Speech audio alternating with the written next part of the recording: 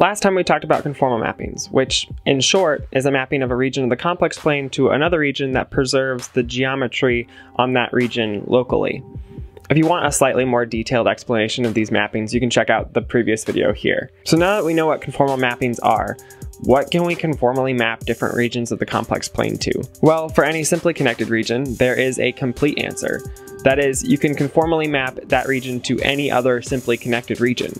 Simply connected for us just means that you can take a path in the space to go from one point in the space to any other point in the space. And there's a bit of freedom to how you choose that path. So this is simply connected and this is not. You could spend an entire course in complex analysis building up to the proof of this statement about things that we can conformally map between. So we're actually going to avoid it for this video, but I wanted to talk about some special examples of this phenomenon. They're called Schwarz-Christoffel mappings. A Schwarz-Christoffel mapping, okay, that's a mouthful, but moving on, takes the upper half of the complex plane, or all of the complex numbers with non-negative imaginary parts, and maps them to polygons. The math here gets incredibly hairy incredibly fast, and that seems reasonable. The mapping is conformal after all, so it needs to encode all of the local geometric information from the upper half plane, which is an infinite region, into some polygon, which is a bounded region, as well as utilize the information given by that polygon, like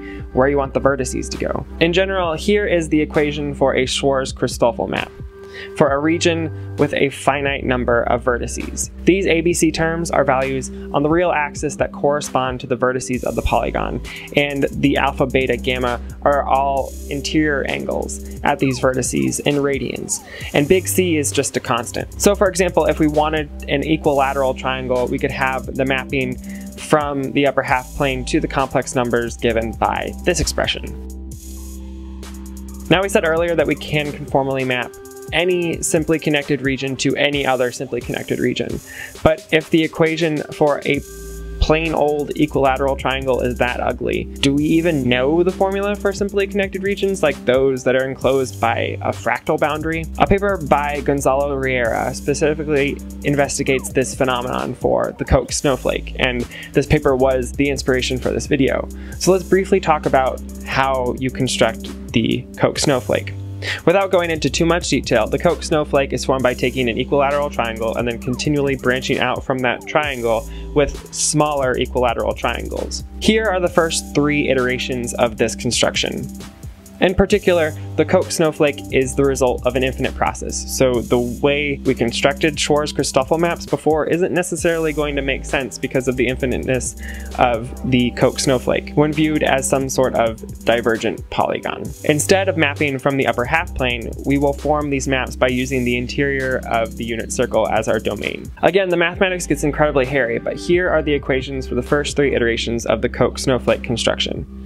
They may not look like it, but they are actually kind of similar to how we constructed the general map between the upper half plane and a polygon. And that makes sense because the first three iterations of the Koch construction are polygons with a finite number of vertices. I've condensed the mappings a little bit so they're more reasonable to write down here, and there is a pattern to these mappings. So if you want to go ahead and try to figure out what the mapping to the fourth iteration would look like, it's a mess but it's doable. Now would be a good time to stop before we state the mapping for the fully constructed Koch snowflake. I've linked Riera's paper down below if you're interested in the explicit construction of these maps.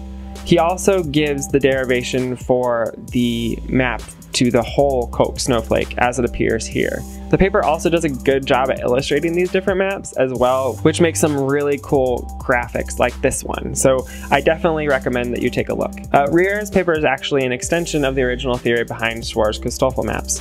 As he mentions in his conclusion, quote, we have shown that the formula can be extended to a variety of shapes with an infinite number of vertices. It would be very interesting in the future to find exactly the branch points necessary in Koch Snowflake as well as in specific slitted regions.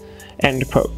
In particular, we don't know much about conformal mappings to regions with these segments cut out, for instance, which happens to be an important mapping to another more theoretical field of mathematics. If you'd like to think about this more or see some of these constructions in more detail, Riera spends a bit of time on these questions in his paper as well. Anyhow, that is all I have for you today. I hope you enjoyed it. Give it a thumbs up if you did, and subscribe for more mathematics videos. As always, I am Nathan, this is CHALK, and I will see you next time.